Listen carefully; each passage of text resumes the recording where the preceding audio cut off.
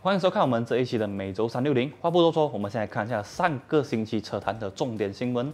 第一则新闻就是 UNW 大佬率先公布了恢复 SST 过后的新车价格。原厂之所以这么做呢，是因为目前原厂的订单已经确定无法在六月三十日之前交车，所以现在订车的朋友肯定是必须交付这个 SST 的。所以呢，原厂就率先公布了这个新车的价格。从 Toyota Yaris 开始到这一个 Harrier 等等都有价格调整，价格涨价的幅度介于三千令吉到一万多令吉不等。除了 Hilux 之外呢，其他的都是有这个价格的调整的。因为 Hilux 是这个商用车，所以商用车其实并不在这个豁免 SST 的这个行列之内，所以它的价格基本上是没有变动的。只是在上个星期呢，原厂也有公布了这个 Hilux 新车价格，取消了一些车型之外呢，这个价格也有大概三千令吉的调整。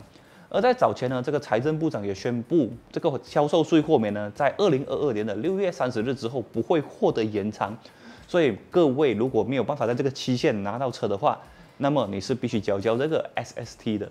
第二则新闻，Proton 可能今年不会推出任何的新车款，并且集中全力解决这一个零件短缺的问题。其实，在上一次一项活动中呢，Proton 的高层呢就跟我们表示了这个 SSE 还有 VS 十一的存在，而且他表示呢，这款车是一近期的计划，可能是在今年年末。但是目前呢，Proton 遭受到非常严重的零件短缺问题，不仅仅是 S 五十、S 七十，就算连这个基本的车款，就是 Iris、Persona 跟 Saga，同样的也有这些问题。新车生产不及，然后如果是这个客户需要更换零件的话，零件也严重的短缺，所以影响到了品牌的形象。所以近日就有消息指出呢，原厂将会竭尽全力的解决这个问题，他们期望在今年的六月之前呢，把这个问题解决。可是也因为全副精力放在这一个解决零件的问题上面，所以新车今年应该是看不到了。只是如果再次把新车推到明年的话，那么这个 SV 十一，也就是豪越来到马来西亚就已经可能是四年的老车款，中国可能要推出大改款都说不定了。所以你觉得这个新车是要今年推出还是明年推出呢？欢迎在影片的下方留言给我们知道。第三则新闻，MG 名爵汽车可能真的要来马来西亚了，而且它的代理商是丹中。为什么这么说呢？就是因为最近我们在这个丹中的官方网站上面发现了一个奇特的页面，上面写着 MG HS，可是其实里面是没有什么细节的，所以我们怀疑呢，这个是丹中呢他们在他们的官方网站设立这个全新的网页，只是还没有完成而已。其实这个 MG 的车款呢，已经多次在马来西亚被人目击到正在进行测试。只是这个代理商传了很多人，一直到现在都没有消息。而这个单众很有可能是他的真命天子。实际上呢，单众在越南也是这个 MG 名爵汽车的代理，所以如果他在马来西亚也代理这个品牌的话，实际上也是非常合情合理的。另外，因为单众本身就有这个汽车的生产线，所以要在本地 CKD MG 的车款其实也不难。至于这个是不是真的呢？我们相信其实可信度是非常高的。你对 MG 的车款有什么看法呢？第四则新闻，传闻中 Perodua 的 D27 MPV 很有可能就在这个月里面，也就是四月发布。我们都知道，现在已经是我们马来同胞的这个斋戒月，而且他们的开斋月即将到来了。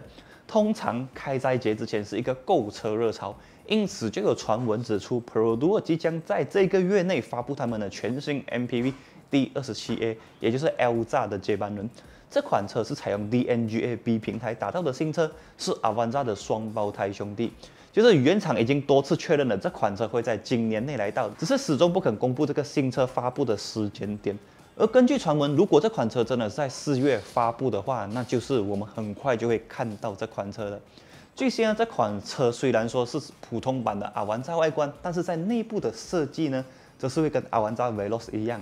拥有独立式的触屏主机，拥有电子手刹车，还有数位化仪表等等，看起来都很不错。只是价格方面暂时没有消息。这一款车相信在马来西亚应该会大卖，因为目前马来西亚市场的这种小型的 MPV 是还是非常的短缺的。这款车非常值得期待。有进一步的消息，我们也会第一时间为大家送上。